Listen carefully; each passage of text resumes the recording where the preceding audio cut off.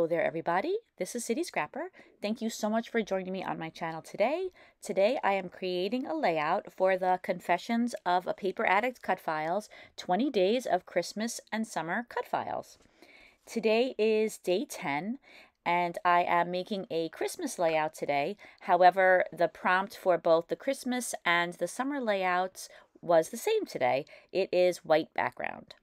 So you see I am using some pattern papers in the background and these were papers that were in a stash I have of assorted Christmas papers. I have a pink one in the background and then I have a green one layered on top of it and I gutted those in case I wanted to use the papers on the layout. And now I am fitting my white background, which is a gessoed piece of white cardstock onto the background. I wanted to cut it to the correct size. The cut file that I'm using today that you saw and is now sitting over to the right is called a Christmas Bauble Wreath, and that is, of course, a Confessions of a Paper Addict cut file. I use white paper to make the cut file, and I have backed that cut file with paper from a 6 by 6 inch pad, and it was a Bo Bunny pad called Christmas in the Village. I'm using some Lindy's Starburst sprays and I'm going to put them in a circle around the background to go right behind the wreath. The colors that I'm using are Cocklebell's Coral, Cotton Candy Pink, and Saltwater Taffy. I think that all three colors look really nice together and I was looking for some pink sprays. I have a lot in my collection, but none of them seemed quite light enough for when I want to make a subtle background. So I ordered some Lindy sprays, and I think that these three colors go very well together. And I've been using them a lot on Christmas layouts because, as you probably know, pink is very in for uh, Christmas themed papers. I'm using the packaging technique I am using all three colors and spreading them around the background. I like to have more than one layer of color, and I just think that that adds to the richness of the background. Now that the background is dry, I'm doing my favorite thing, which is sprinkling some water over the background and then using a paper towel to lift up some of the water, and it makes a cool effect where the water droplets are lifted up. And I have to apologize for all the light that's streaming in through the window. It's a little overwhelming on video. Sorry about that. Luckily, it doesn't last for too long. I'm taking all three of those colors of pink that I use and I'm putting some splatters on the background. Earlier, you may have seen that I use a baby wipe on the background. I used the baby wipe to clean up some splatters that were in spots that I didn't want the splatters in. But then I also continued to use it to soften the edge of the large areas of color a little bit. And I thought that that worked nicely to blend the sprays, the areas that have sprays on them into the background. I added a few more of the splatters of water. And now I'm going back and I'm adding a few more splatters of color. And I use my heat gun to dry the color in between layers. And I also make sure that the layout is dry before adding splatters. Otherwise, the splatters aren't defined. They uh, just become part of the background. I wanted to add a little texture to the background. You really don't see too much of this on the final layout, but I do like to add texture as much as possible. So I'm using this stencil that I made using a silhouette cut file and I'm putting the modeling paste on top of the areas of color. I extend the modeling paste out a little bit past where the pink is, but not too much. I try to keep the modeling paste uh, in that spot. And I'm putting a very thin layer, so this dries very quickly. In order to keep my mixed media backgrounds flat, I will run them through my laminator. I have a Minc laminator and I run them through at least once, sometimes twice. But once the modeling paste goes on there, I don't think you can really run it through the laminator anymore. Maybe you can, but I haven't attempted that. So I like to let the background air dry, and so the fact that there was a thin layer helped it to dry fairly quickly. The heat tool, as wonderful as it is, it does tend to add to warping of the paper. And now I'm using some watered down white acrylic paint and I am splattering all around the areas of color. I don't know if you can tell on the video, but those Lindy sprays are very shimmery and I like that especially for a Christmas layout. Now I was thinking that in order to embellish the layout, I wanted to add some holly leaves to the wreath.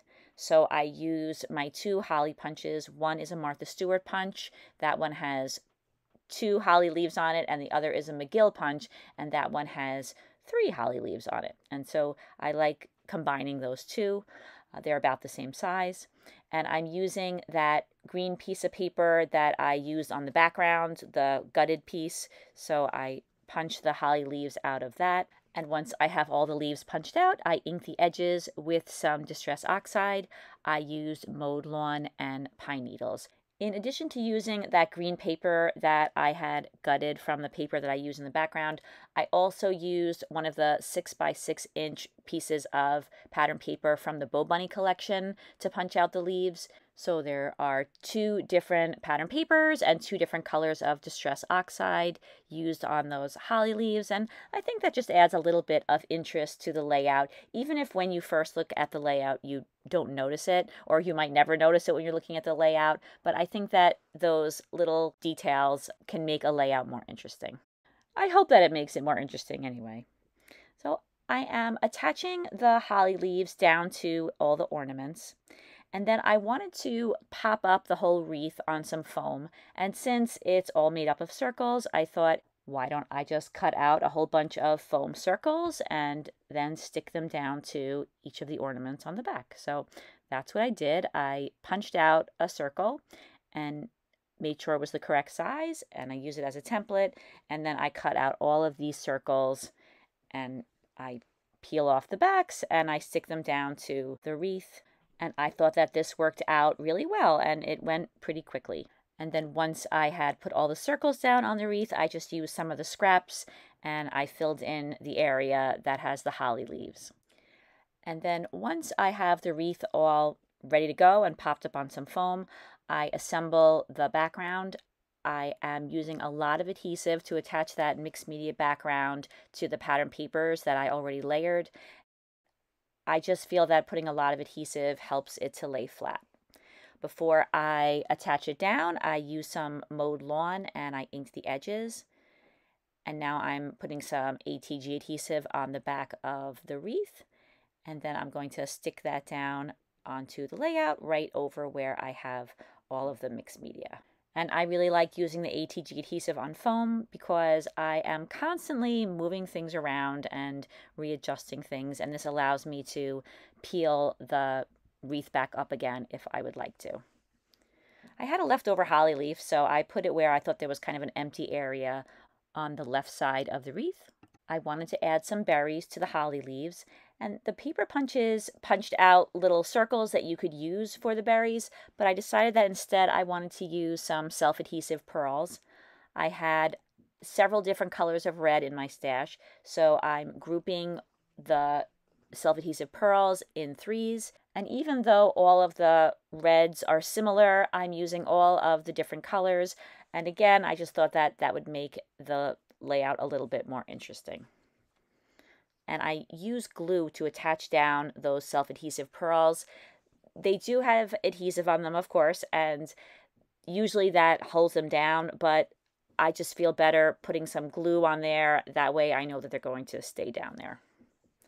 Now, I wanted to add a little bit more of something to the wreath, so I'm using this Martha Stewart punch and I'm punching out some very small pine branches and I'm using again a piece of paper from that Bo Bunny collection and then I'm using Distress Oxide in Stormy Sky and I ink the edges of all of these pine branches. And once they're all inked, I begin placing them on the layout. I already had a lot of green on the layout. There's the holly leaves, those are of course all green, and then some of the ornaments are back with some green paper. So I wasn't sure if I should do this, but I decided to go with blue instead of green, and I was pretty happy with the way that it turned out.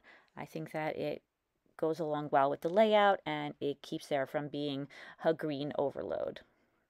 So I arrange all of these pine needles around the wreath and then I go around with some gel glue and I attach all of them down to the background. And I just whisked it away, but I'm going to be scrapbooking a photo of both of my daughters on Christmas Eve of last year. First, I mount the photo on some white cardstock. And I was looking through the paper pad and I found that there was a dark teal color. And I thought that it might look nice if the teal was mixed together with the blue pine needles that were already there because the color was pretty close, but it just, again, made it interesting that there are two different colors of pine needles. So I punched out a whole bunch more of those pine needles and I'm tucking them around the layout and mainly putting them close to the lighter blue pine needles that I had already placed on the layout. And I was thinking that I should really make more use of this Martha Stewart pine branch punch. It's so fast to punch things out as opposed to cutting them out with my die cutting machine. Not that I mind cutting things out with my die cutting machine, but when you're making multiples of the same thing, it is very handy to have a punch, as I'm sure you know.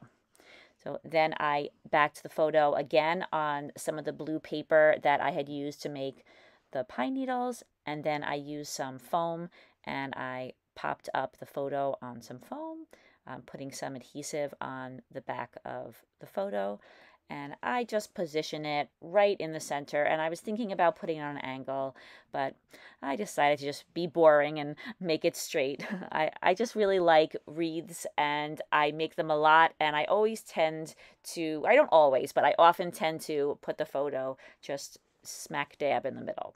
I needed to add a title, so I found this title that says Joyful. That was from a foam sticker sheet from the Simple Stories Simple Vintage Rustic Christmas collection and I like it, but I'm feeling that even though it says joyful, it's so small and it doesn't like feel so joyful. So I leave that there for a little while. I put some foam underneath it and I pop it up.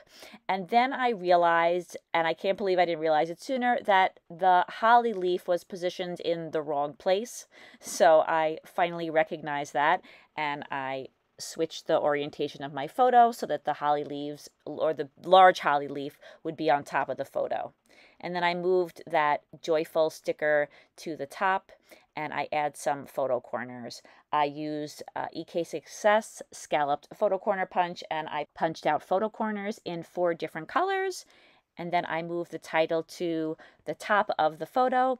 And I know that the large holly leaf that's on the cut file probably was meant to go at the bottom of the wreath, but I kind of liked it on top. I wanted to add a little something to each of the photo corners, so I got out some dewdrops in clear from Want2Scrap and I put some little dots on each of those photo corners.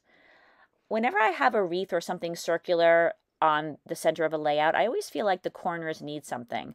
So I use this EK Success punch and I punched out these little corner scrolls, or they might be photo corners, but I always end up using them for situations like this where I need to put a little something in a corner and I ink the edges with Mowed Lawn Distress Oxide.